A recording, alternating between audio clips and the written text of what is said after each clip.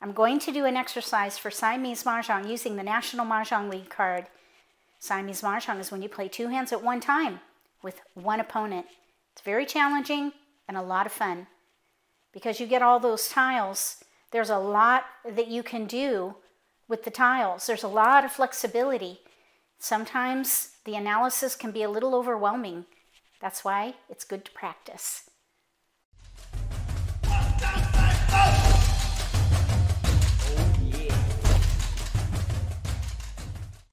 If you're new to Mahjong or if you already know how to play and just want to build your skills, consider subscribing to my channel. That way you won't miss anything. We're going to do three random pulls and we'll alternate between player one and player two. So we'll get 28 tiles, then 27, and then 28.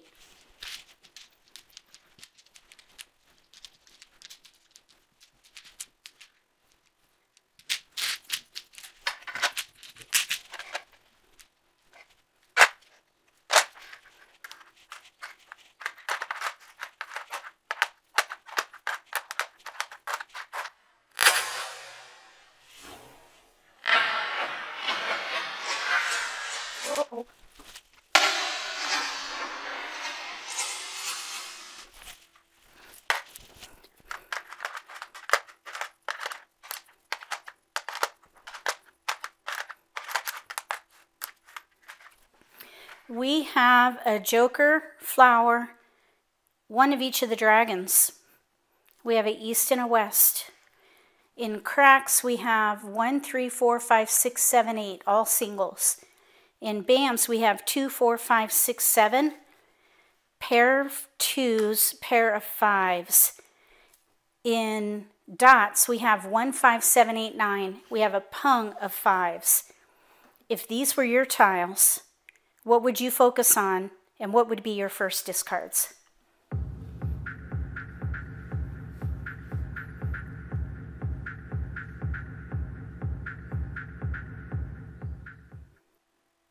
If these were my tiles, I'd probably play 2, 4, 6, 8, and big odds. 5, 7, 9.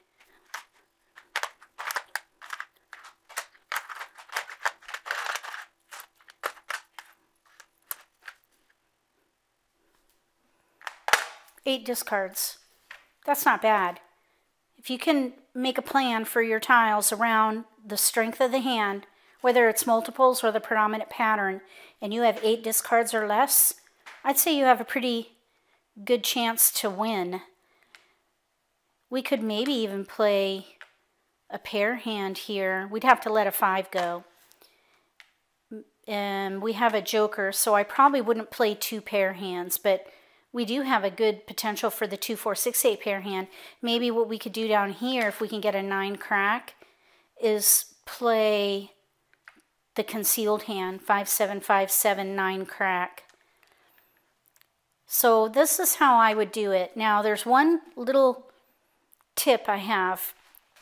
Anytime you're doing evens and odds, always keep in mind consecutive run because here we have sixes and eights we may be able to switch to consecutive run 5 through 8. 5, 6, 7, 8. We really don't have the right 6, though, to go from this pung. So I would keep my eye on consecutive run, big numbers, 5 through 9 maybe, and then just kind of play it out. So always remember that you can fill in numbers from evens to odds and vice versa well, you would go from odds to consecutive, evens to consecutive. So they would go to consecutive run. Five, six, seven, eight. I suppose if we get threes, we could do two, three, four, five. Maybe keep this. Because we do have two, three, four, five in here. Or even, even one, three, five maybe keep 1, 3, because we could do 1, 3, 5, and then 6, 7, 8, 9. So maybe start by discarding those. You don't want to spread yourself out too thin though, so be careful there. If you would do something differently on this pull, write, pull one and what you would do with these tiles.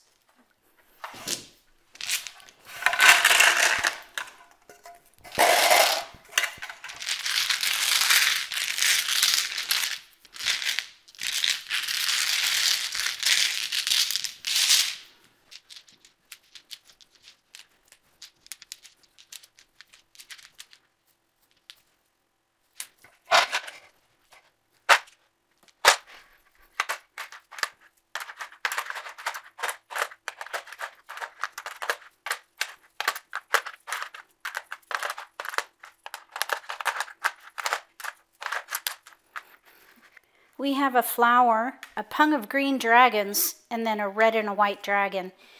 We have an east and a west, singles. In cracks, we have three, four, seven, eight, nine, pair eight and nine. In BAMs, we have four, six, eight, nine, pair four, pair nine. In dots, we have one, two, four, five, seven, pair fours. If these were your tiles, what would you focus on and what would be your first discards?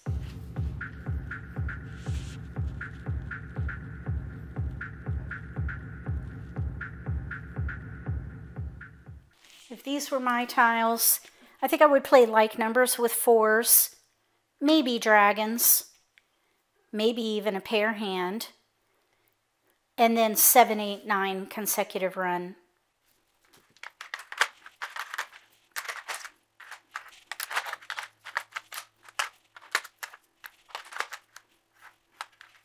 So here we could do like numbers with fours and dragons.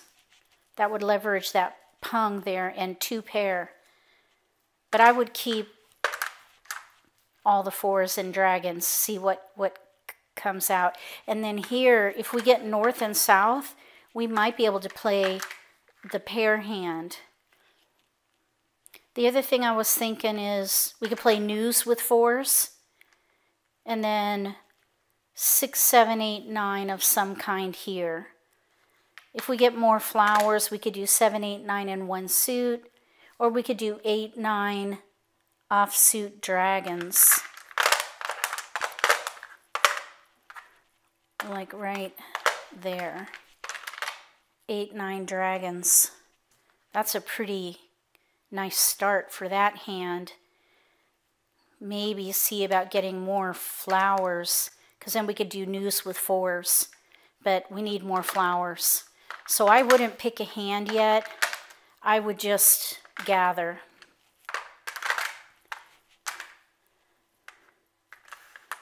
Discard those first. If you would do something different with these tiles, write pull two and what you would do.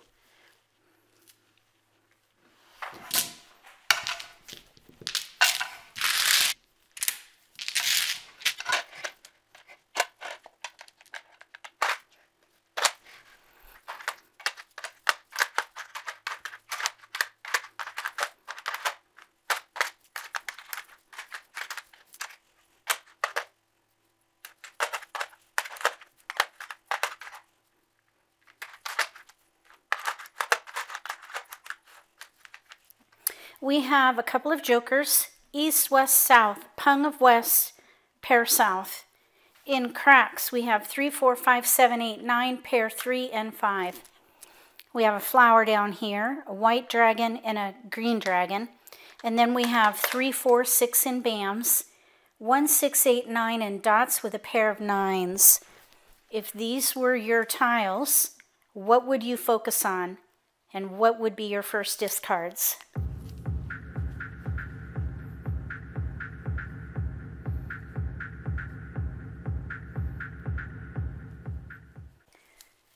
If these were my tiles, I think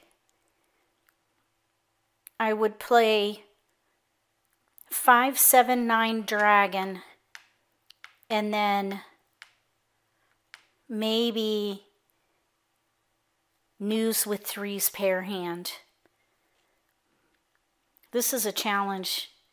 I don't think we have enough jokers or flowers to play a quint, but my mind does go there. So let's just see what this would look like.